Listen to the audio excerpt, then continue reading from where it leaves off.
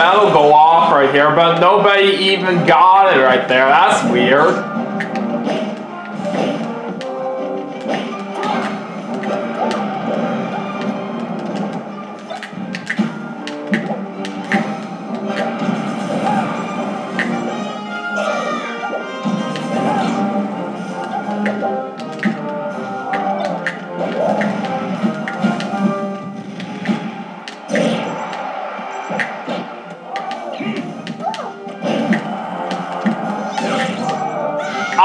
Ah, dang it. Peach gotta be very good with that attack.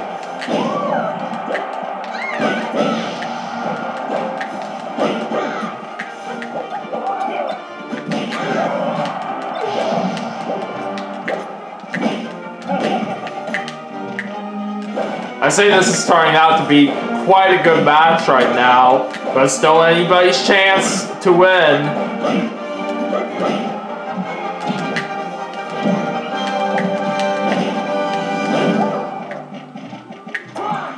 Alright, there's a medal.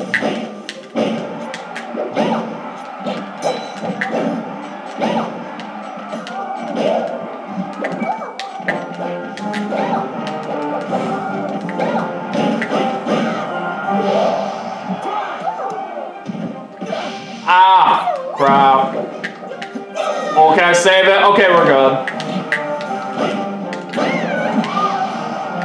Uh, now all my opponents have one life left, and I got two right here. So we're holding a pretty nice advantage right now.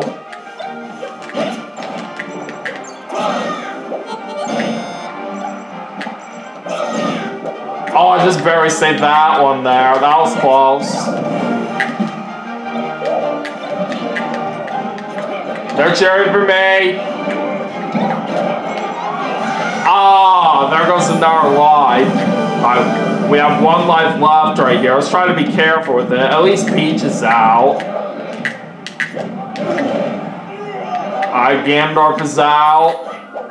Alright, now it's just down to me and Marth. Alright, let's get the Warp Star. There we go! Got the win right there.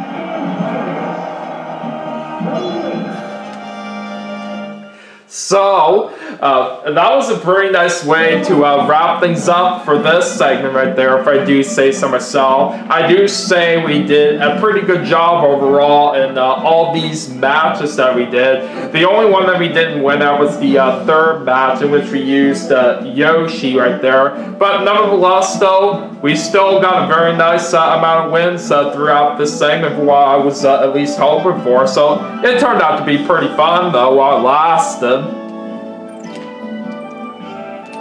Alright, so anyways, that is going to do it for Super Smash Bros. Melee for the Nintendo GameCube as part of my 2024 Easter special.